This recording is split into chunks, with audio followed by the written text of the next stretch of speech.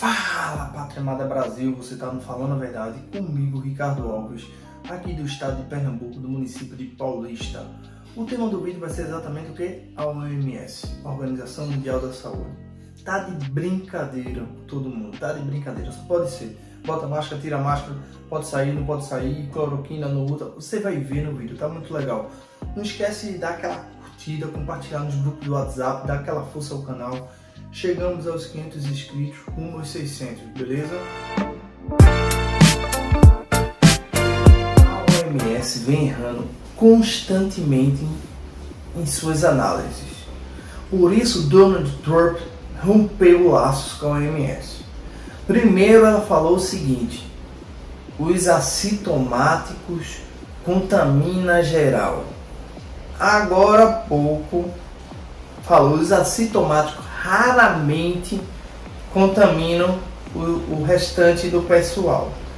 Isso é um absurdo essa informação, porque ela trancou todo mundo em casa com seus conceitos. Saúde, uma porta-voz da Organização Mundial da Saúde, durante uma entrevista coletiva ontem, disse que a transmissão da Covid-19 a partir de um paciente assintomático é rara.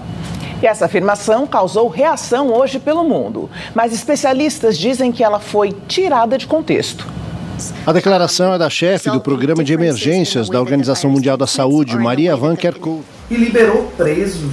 Isso, é um absurdo.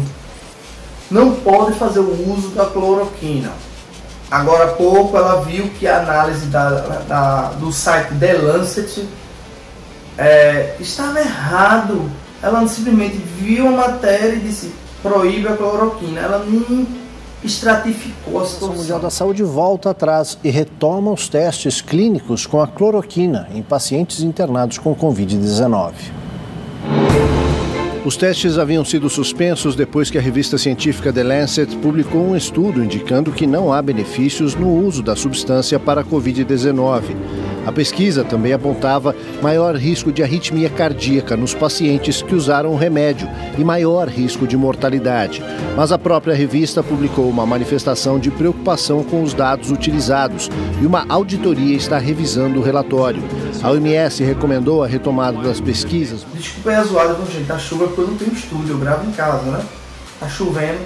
Então, o que que acontece? Ela pegou isso aí e fez. Agora ela fez. Volta o estudo da cloroquina, que está salvando muitas vidas. É, as pessoas têm todo mundo é, só sair de máscara as que tiverem com sintomas. Agora não. Volta atrás de todo mundo que ser de máscara. Então ela, ela tá muito divertida. Donald Trump lançou o laço com o presidente dos Estados Unidos, rompeu o laço com o OMS porque está vendo que está de conluio com a China. A China, exatamente a China, que é, de lá saiu é, o HN1 e todas as outras gripes a qual ela se beneficiou, realmente.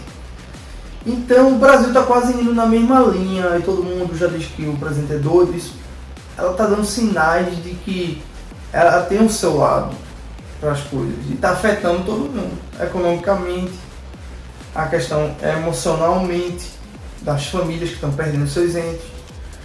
E outra coisa que é interessante, na descrição aí embaixo tem todas as fontes de pesquisa, gente, é do que eu estou falando.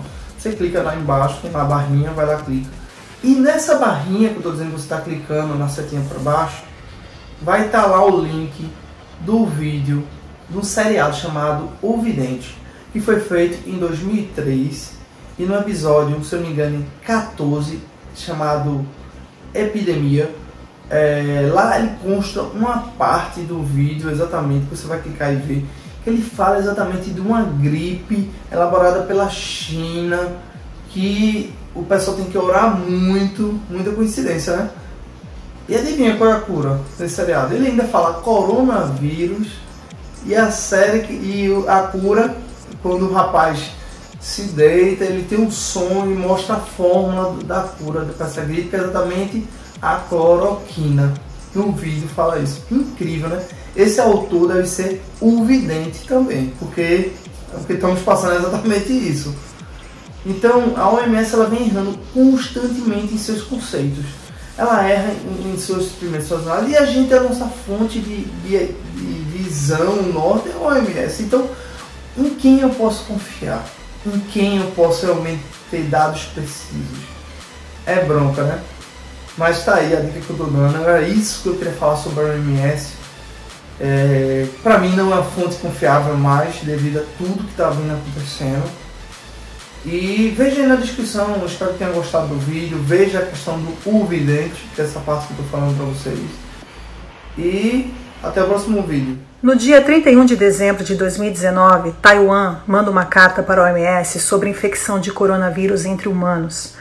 A OMS ignora. No dia 1 de janeiro de 2020, médicos e jornalistas chineses de Wuhan alertam a OMS sobre uma nova infecção com 266 pessoas.